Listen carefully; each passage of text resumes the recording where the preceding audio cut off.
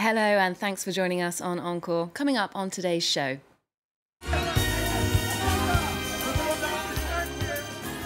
Cinema comes to La Serenissima. Venice welcomes the stars of the big screen as the floating city hosts its annual film festival. Getting a taste of the action on the ground, Game of Thrones fans flock to the latest shooting location, Northern Ireland, as the series makes avid tourists of its viewers. And Dutch photographer Ed van der Elsken brings us a poignant view of the margins of mid century society in a retrospective here in Paris.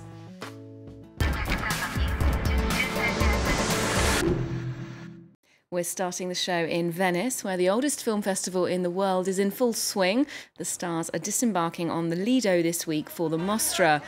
Ethan Hawke and Amanda Seyfried were on the red carpet for the drama First Reformed, while Guillermo del Toro was there to present The Shape of Water.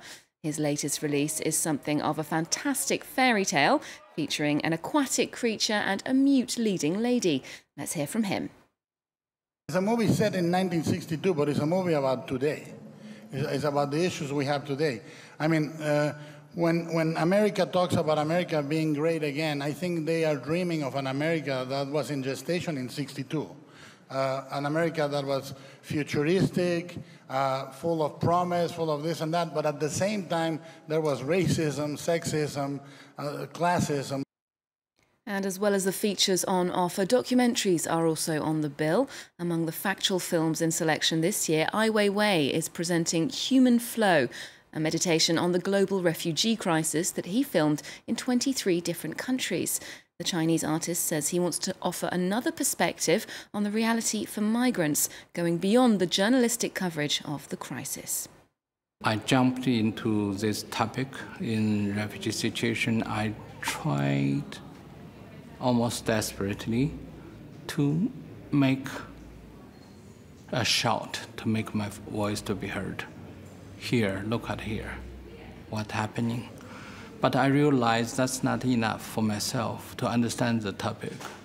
The topic is so broad and has such deep history and in such a complex situation. Not only a small screen phenomenon, it's also a boon for tourism. Game of Thrones fans are flocking to the locations where the series was filmed, and the latest site is in Northern Ireland. After Spain, Iceland, and Croatia, it's the latest place to benefit from the worldwide popularity of the saga. Alison Sargent has more. They're invading Northern Ireland in droves, armed with swords, fur lined capes, and their fiercest battle cries.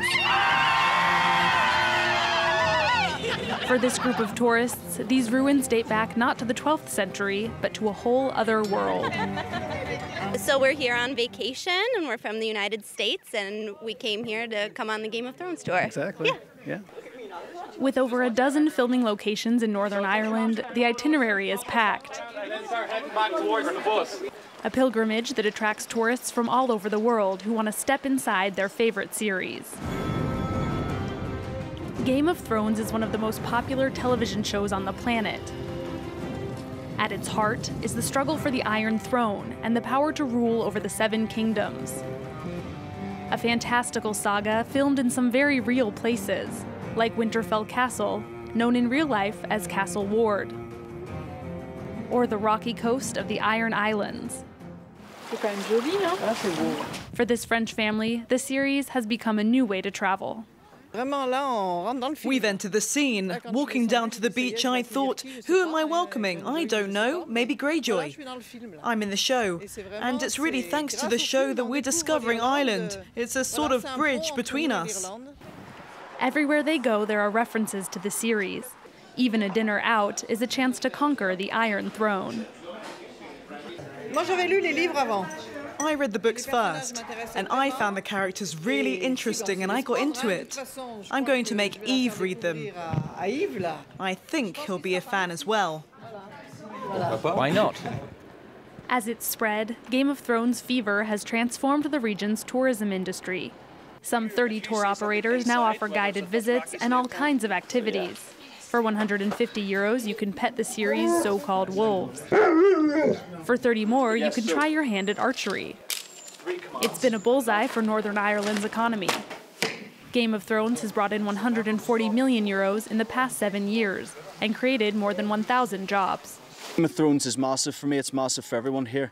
In the winter time, you'll see me on Game of Thrones shooting arrows, hacking people to death with a sword, and in the summertime, you'll see me doing the tours, teaching people how to shoot arrows and showing them this beautiful country that we have.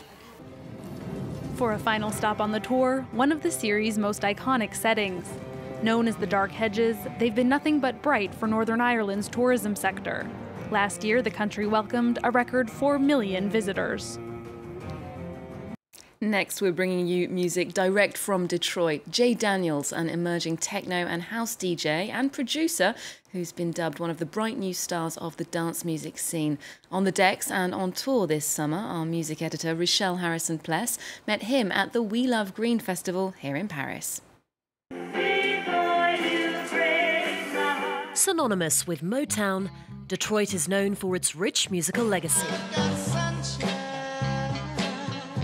The Motor City is also known as the birthplace of techno.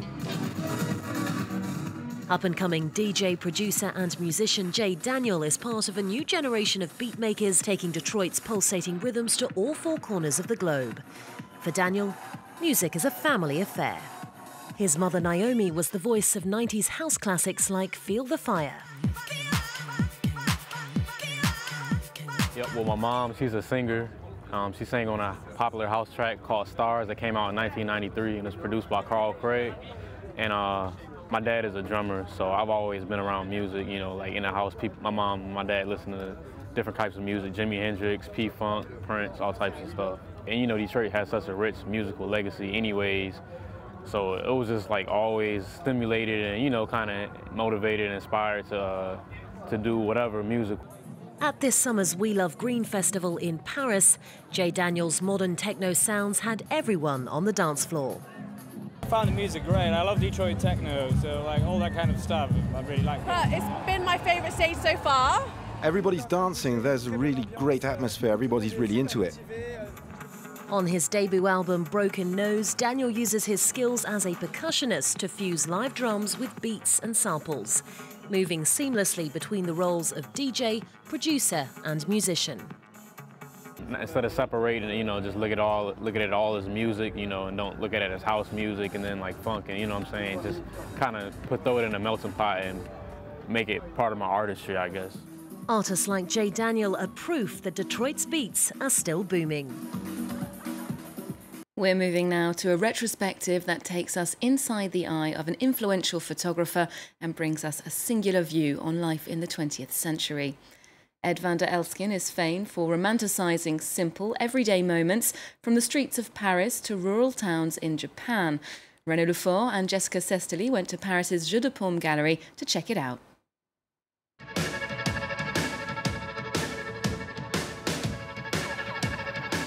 Ik maak bloedserieuze dingen, maar ook veel lach en plezierwerk.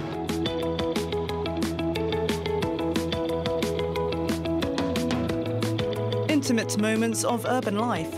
Ed van der Elsken's love affair with the camera began in post-war Paris, trailing a group of young vagabonds as they drifted through the city's left bank, in hazy cafes on dark street corners, to catch a glimpse of the stirrings of young love, recklessness and rebellion. He loves their moment of passion and he records that, and he has a great ability to be close and uh, sympathetic in that moment of uh, revolt, which will last for only a short time. His photos show so many different cultures and realities. It's like he picks a place and waits for something to happen. His shots are tightly framed. There's an intense blackness in his photos tight frames and a deep blackness, two of his trademark techniques which he'd used to produce photos with an almost cinema-like feel to them, a radical shift from the optimistic photorealism of the time. Van der Elsken also played with colour, like in this series on Japan. His photos covered the entire world, but the country always held a certain importance for him. He returned there some 15 times over the span of 20 years. The question of the gaze is very important in his Japan series. That is, how the photographer regards his subjects and how they regard him. There's one section on a more traditional Japan and another on a more modern Japan. That one features marginal, non-conformist protests, which he especially liked. In his hometown of Amsterdam, he filmed passers-by to provoke their instant reaction. An inspiration for many, like world-class photographers Larry Clark and Nan Goldin. Van der Elsken aimed to expose the real essence of life, right up to his departure from it, the 28th of December 1990.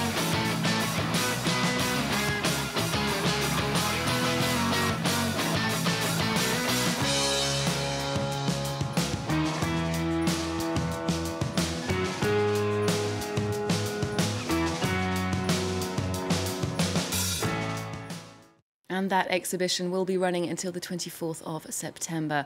We'll leave you with another exhibition, and this one's a little further afield. Jerusalem Lives is the inaugural show at the Museum of Palestinian History, Culture and Society. The institution officially opened in the town of Bir Zayt near Ramallah last year, but this is the first time it's open to visitors with a collection of work documenting the Israeli occupation of East Jerusalem. For more arts and culture, do remember to check out our website and you can also keep up with Encore on social media. There's more news coming up on France 24 after this.